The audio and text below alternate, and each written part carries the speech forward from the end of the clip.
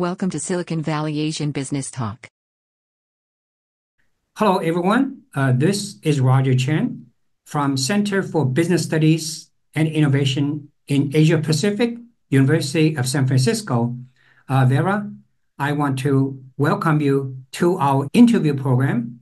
And would you please briefly introduce yourself? Thank you, Roger. It's a real pleasure uh, to join you on this uh, podcast. Uh, my name is Vera. I'm from uh, Sustainable Living Lab. Uh, we're a group of companies that basically uh, deliver services around sustainability, uh, consulting, and also all the adjacent sort of activities in that space.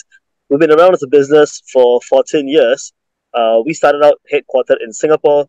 today, we have offices in Indonesia, India, and the US, and we operate in about 30 countries. We have a staff strength of about 80 people delivering services uh, in this space. How to incubate sustainability venture business. You have incubated many projects. Oh, seems to me actually your holding company is almost like an innovation factory. You know, I heard I learned this term from uh, P&G.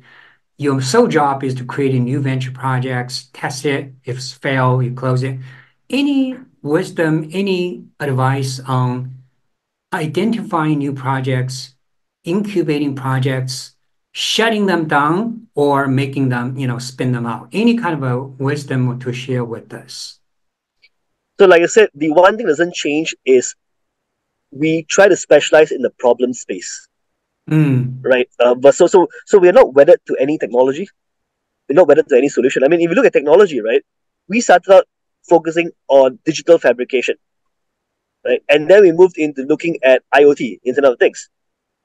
Then we moved into computer vision and robotics. And then now we are dealing with AI.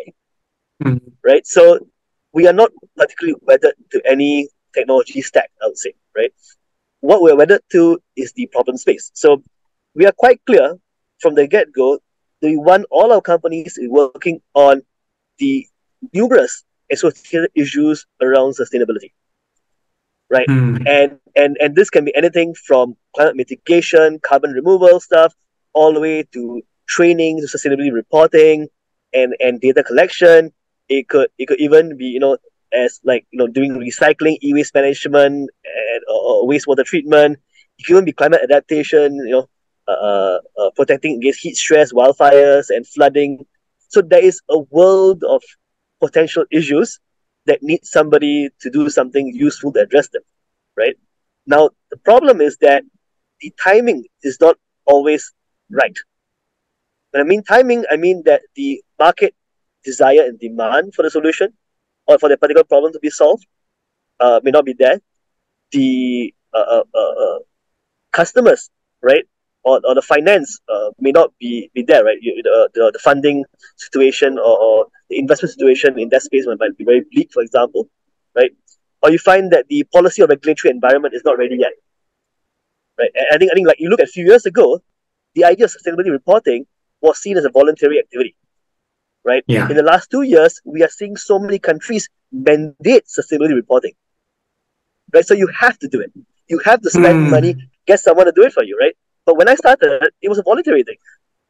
Right? So the regulatory environment had to change in order for us to fully realize the promise of that particular, you know, uh, uh, uh, opportunity.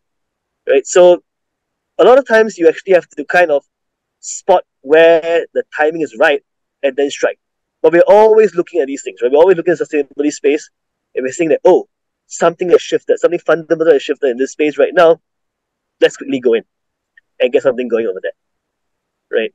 So, so for example, one of the things that we currently see today is that people are beginning to have sort of, you know, uh, um, I, I, would say a loss in faith in the uh, COP or, or climate uh, mitigation uh, process, right? People mm-hmm. are beginning to say, you know what, I think in a world that's becoming more bipolar and no longer multipolar, we are not going to have that great sort of international collaboration to mitigate against carbon emissions.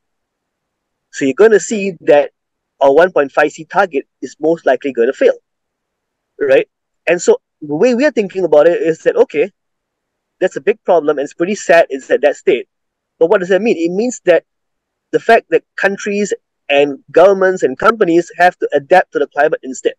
So climate adaptation instead becomes much more important. The relative importance of it goes up, right?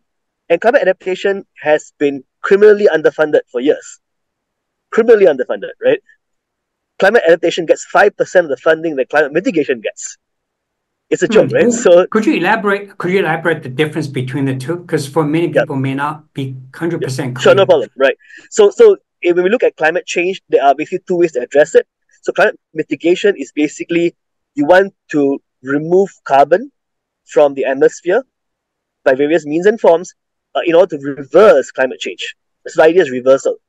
Climate adaptation is basically the understanding that while you are doing all the reversing stuff, it's not going to happen overnight. It's going to take a couple of decades. You're going to need to adapt to the changes that will happen anyway. You're going to mm. adapt to rising sea levels, adapt to higher temperatures, adapt to water stress, adapt to wildfires. You know, California, right? It's, I think, front and center of this, right? So you yeah. have to adapt to it. And adaptation means that you need new technologies, new services, new ways of doing insurance, new kinds of housing, all sorts of things. And you have to basically reimagine the entire system, right? On how are we going to survive the changing climate. So the perfect space to be in is you want to be doing activities that both mitigate, meaning you prevent further damage to the environment, and also allow you to adapt. So, for example, a good example, you know, or rather a negative example is air conditioning, right? So it's very hard. So we say, you know what, let's use some air conditioning. But air conditioning is considered a maladaptation because it makes the problem worse, right? Because you actually end up releasing more carbon emissions. But if let's say you move to a air chiller system, right, where you're using uh, uh, some kind of uh, more, you know, passive flow system to make the air cooler and so on, then that's considered a more positive sort of, you know, a space between your boat mitigating the climate change and your boat adapting to the hotter environments, right? Mm. So hmm. there's a whole range of solutions in this space, and, and where we strive to be in is like we see that there will be naturally much more attention moving towards climate adaptation as people start losing faith with climate mitigation efforts.